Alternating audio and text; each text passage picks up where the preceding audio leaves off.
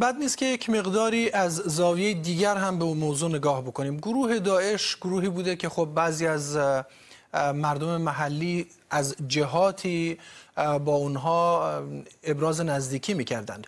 و این گروه تونسته در برابر نه تنها دولت عراق که یک ارتش مجهز داره در برابر ائتلافی از دولت عراق و کشورهای متعدد مدتها مقاومت بکنه. آیا همین مقاومت اینها نمی‌تونه برای بعضی از افرادگرایان داخل خود عراق الهام بخش باشه و اونها رو تشویق بکنه که مثلا به شکلی دیگر عمل بکنند؟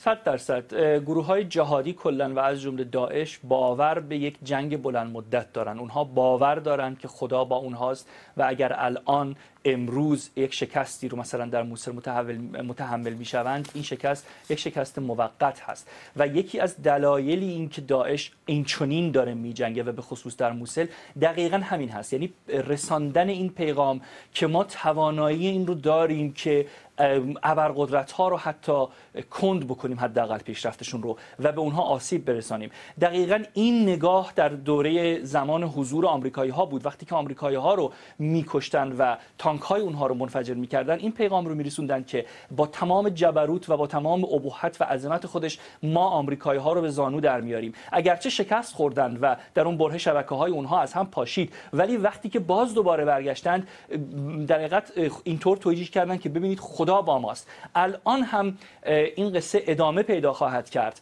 و باز هم از آنچه که خودشون قهرمانی های خودشون می‌دونند در حقیقت داستان ها خواهند سرایید و سعی خواهند کرد که جوانان رو جذب بکنند.